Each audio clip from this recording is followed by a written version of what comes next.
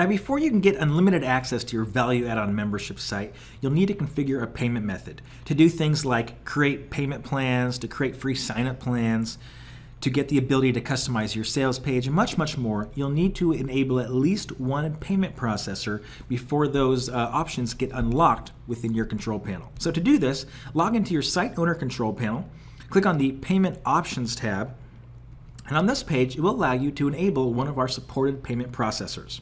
Now, the first payment processor that we offer is a free merchant account that is provided by Stripe.com. Stripe.com provides a free merchant account where you'll get automatically accepted into the program within seconds. Standard merchant rates apply. There is no limits, there is no monthly fees, there is no per credit card uh, type fees. And it's a great, wonderful company to work with. If you want to learn more about them, click on the blue link to get an extended information about this company. Once you enable Stripe, you'll be able to do things like create free membership plans, create paid plans. You'll be able to uh, have a built-in shopping cart that works directly with this platform where you can uh, manage users, uh, create coupons, and much, much more. It takes a few seconds to set up, you're automatically approved, and your shopping cart tools and advanced options will become available instantly. The next payment processor that we also integrate with is somebody called jvzoo.com. jvzoo.com is a great payment processor that utilize PayPal and or authorize.net to process payments, and they also allow you to do something different, which is to manage and run your own affiliate program. Now you can enable one or the other. You can also enable both payment methods at the same time, which is highly recommended. Now, one more thing you should note on this page, if you're an advanced user and you want to have membership levels and be able to sell customers into certain uh, content areas and to, into certain courses and to give them access depending on how much they pay, you want to click this box down below that says Show Advanced Options. When you check this box after enabling one of the payment processors, this will allow you to create different membership levels so people can sign up and only get access to the certain content that you specify. If you don't need that option, go ahead and leave that box unchecked and continue through the process like normal. Now for this example, I'm going to leave that box unchecked and just give you a basic overview of how you can enable Stripe.com to take payments. To do this, click on the Click to Enable button next to Stripe. Once you click here, this is going to open up a merchant application form. If you currently have a Stripe.com account, maybe you used one for your other businesses or you signed up a long time ago for Stripe, go ahead and sign in right here and go through the process. If you don't know what Stripe is, or maybe you've never heard of it, or if you don't have an account, let's go ahead and fill out this form. So once again, this is a merchant application form. Don't worry, you're instantly approved. The process takes a few seconds. And what you gotta do is you just gotta fill in the blanks. So it's going to ask you information about what you're selling, what your average payment is, what type of business are you. It's going to ask you for some business information. It's going to ask you for your personal details. It needs this information so it can approve you for your merchant account so you can accept money with your membership site. Down below, it's going to ask you for your credit card statement details. Now, this is where you can put in the URL of your membership site. If you don't know what this is, go back to the page we were just on in the Site Owner Control panel, click on the URLs tab, and copy and paste that URL into here. Put in your business phone number if you have one, and continue through the rest of the process. You will need to include your banking details because Stripe is a merchant account and it will need to know where it's going to send your money. Once they process your payments, they will take those payments and they'll deposit them into your bank account right away. Then at the very bottom, you'll need to create your Stripe account by giving the system a email address and a password. Go ahead and click Authorize Access, and that will connect Stripe to your membership platform so you can uh, get the benefits of having the built-in shopping cart and be able to charge members or be able to just create free plans for your membership users. Now I'm going to pause the video and I'm going to complete this form myself and then I'll resume back when I'm finished. Okay, so I filled out the form. I'm instantly approved. Here's my success message up here. It says we have successfully linked your Stripe account and enabled Stripe on your website. So now that we've enabled a payment processor, you'll see that we have new options that show up underneath the Payment Options tab. And if we click on this, this will take us to our Stripe shopping cart. This is where we can create payment plans, view the history of all of our orders, view active and canceled subscriptions. We can create coupon codes, We can integrate with email providers such as GetResponse, Aweber, and so on.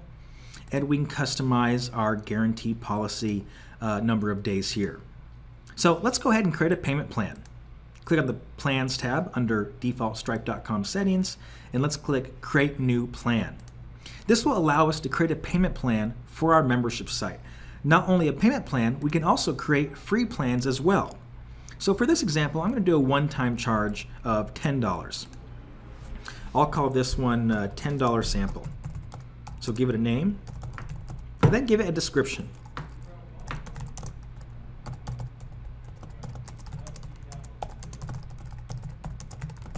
And then give it a price. So this is going to be a $10 one-time charge.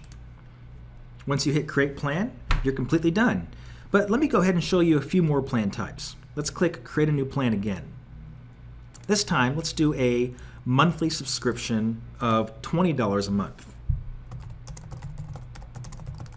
Give it a name again, give it a description.